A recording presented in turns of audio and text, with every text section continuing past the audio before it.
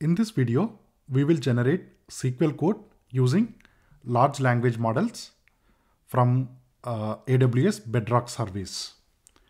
Okay, uh, we will do it using Python SDK. So we need to install these three libraries, Boto3, Boto Core and AWS CLI, right? So importing standard Python libraries. And as I mentioned uh, in the previous video, uh, we have a couple of helper functions uh, from AWS Bedrock Workshop. Uh, so from the utilities, we are importing uh, this Bedrock module, which uh, help us create this Bedrock client. Okay, and then this print function, it print the maximum 100 characters in a line so that we can see the entire output. All right. So using this Bedrock, we are creating two clients. One is the standard Bedrock client. Uh, so here we are saying runtime false by default. Uh, runtime is true. That will create the runtime client. Okay, the Bedrock runtime client. And uh, uh the Bedrock service is not available in all the regions yet. So choose one of the regions where it is available. So I choose uh, US East 1, even though I'm in AP Southeast 2. All right. Now we should be able to create this client and runtime uh, using the standard Boto 3, but for some reason it is not working. So I'm using the helper modules uh, provided by the uh, workshop. All right. By the way, the workshop link is in the description below. All right. So using the the Bedrock client, uh, we can list the foundation models. Now it will show a number of things. Uh, for example, so this is the metadata. And from here, from in this model summaries, we have the models. For example, this is the first model. And here we can see, uh, for example, the important ones. So the model ID and the model name and the model ARN uh, the modalities if it is text image or it is multi multimodal etc and customization uh, is supported or not okay so here we have printed the entire output whereas here uh, we are printing uh, we are invoking the same function but we are printing only the model IDs okay so these are the model IDs uh, we have five sets of models one is Amazon's own model text models stability or stable diffusions image models this AI21 Anthropic and Cohere language models. Okay. All right. We want to generate a SQL query. Okay. Uh, to generate a query, we need to provide uh, our table schema as well as uh, what we want to achieve, right? Uh, what should the query uh, uh, should do, okay? And any additional instructions. So here is our prompt data we are saying we have a company, some name, its name is any company. So we have a company, uh, it has a database with table sales data. So here is our table name, sales data, and which contains the sales record. Now the table has the following schema, right? So the date, product ID, price, and unit sold, which is same as uh, uh, the CSV file schema we saw in the previous video. Now we are asking two questions. Can you generate SQL query uh, for achieving the below two tasks? So the first one is identify the top five best selling products by total sales for that year. Okay, for that year 2023. And then uh, calculate the monthly average sales for the year 2023. Now in the previous video, we actually have the CSV file uh, and we ran the Python code uh, on the CSV file generated uh, to check if the results are uh, indeed correct, right? So here we don't actually have this table to run the SQL queries against, but these are so simple. We can look at the SQL query to check uh, if they provide the right output or not, okay? All right. Uh, we are again going to use the same Claude V2 model uh, from Anthropic. Uh, as we discussed before, uh, these are the the parameters. Okay, so again, these ones they won't change. we are only changing the prompt data. All right. Um, and then this one is also standard. So we have the model ID and we have the content types, so the input and output types. And here we are invoking the model. So using the Bedrock runtime. The two important parameters are providing this pay, uh, payload, which contain both our prompt as well as uh, the parameters. And then uh, the model ID. So if you want to do a different model, use a different model, we simply change the model ID, but make sure that model also take the same parameters. Okay. All right. Uh, we invoke the model, we get the response and we are simply processing the response. So this is that function uh, print ww. So it, it, it truncate the characters after 100, uh, uh, after 100 characters. Okay. So yeah, this is our output. So the model is saying uh, these are our two queries. So the first one, identify the top five best selling products by the total sales. Okay. So we want to get the product ID and then we want to have the total sales, right? So in the table schema, we have the price per unit and the number of units sold. So we multiply these two to get the revenue for that particular day. But because we want this at the product level, we are going to sum it and we are going to group by the product ID. So let's see if that's what uh, indeed uh, this code is doing. So here we are computing the sum of the price per unit with the number of units. So this would be total sales. Uh, this is the table uh, name sales data, uh, which is what we provided in the prompt. And then we want for the year 2023, right? Because we don't have an year column, we actually have a date column uh, in this format. So the SQL query, uh, it's checking the date is indeed between the 1st of January to 31st of December of 2023. Okay, that is looking good. And then we need to group by the product ID. Okay, that's all right.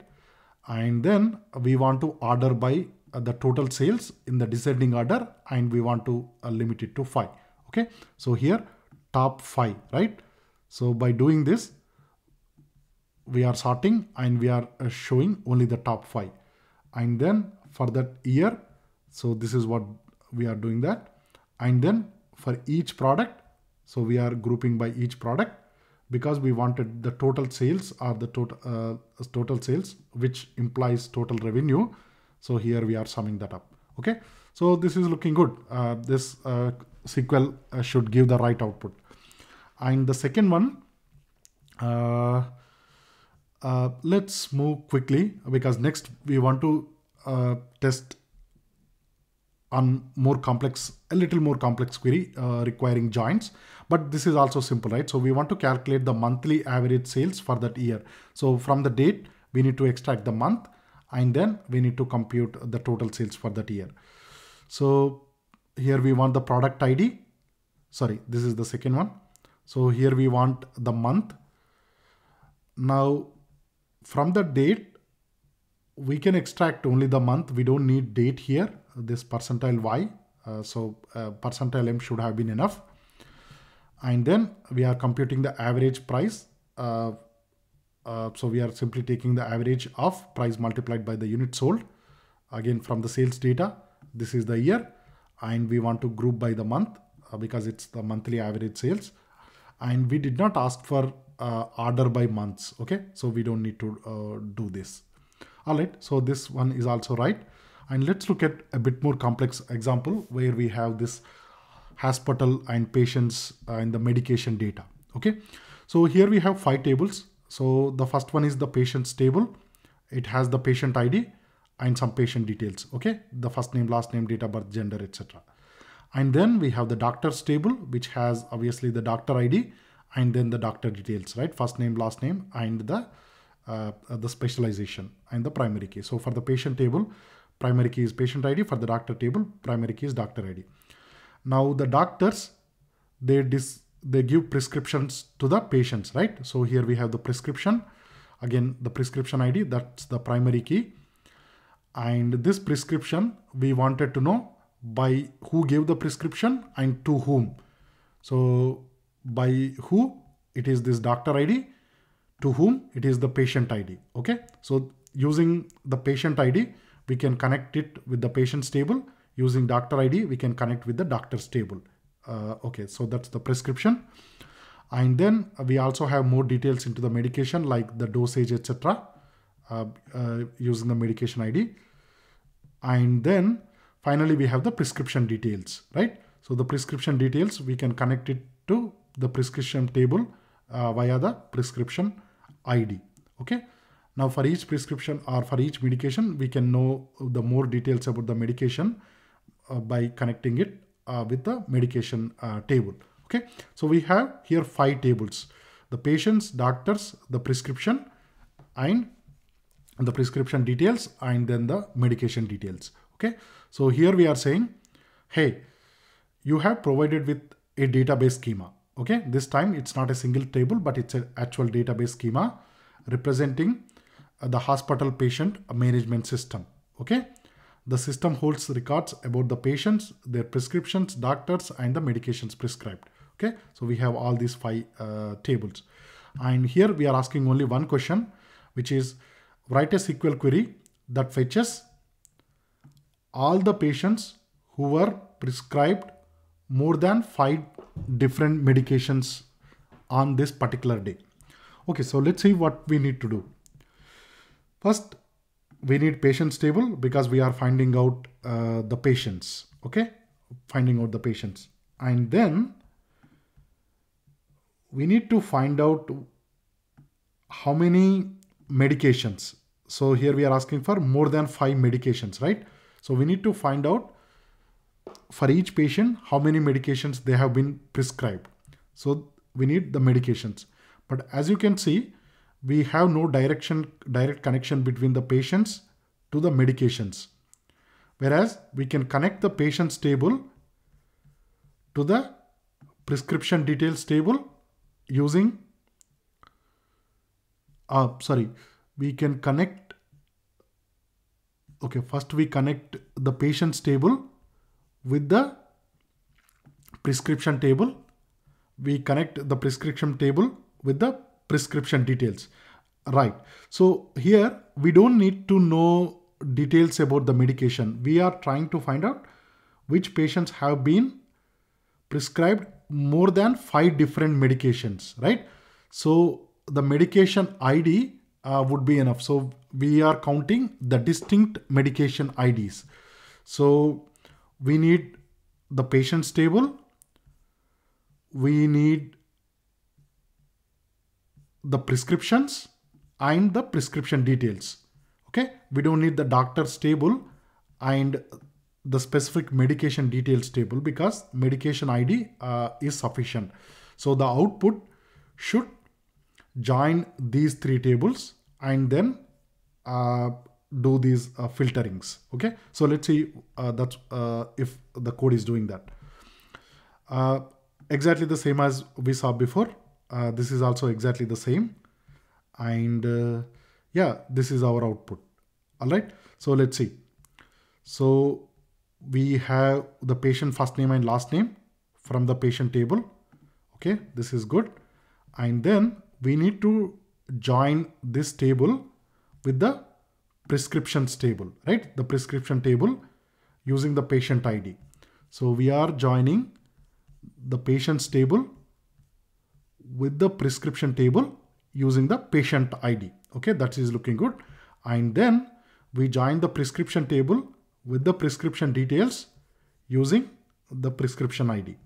Okay, and then we have one more join uh, with prescription details using the prescription ID from these two tables. Okay, so we have three tables connected. And then we want on this particular day, we want to find out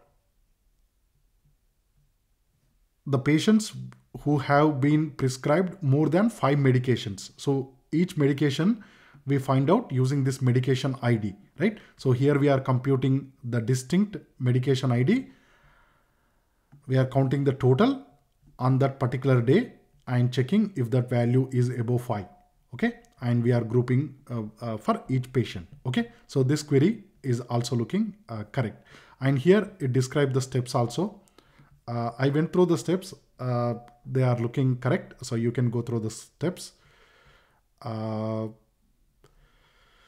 yeah, this is quite nice. Uh, so everything is very standard. Uh, the real trick is in properly defining the schema and providing a clear instructions uh, to the LLM model so that we get the code and we can run uh, as it is without any modifications. Okay, uh, that's all for this video. Uh, thank you very much.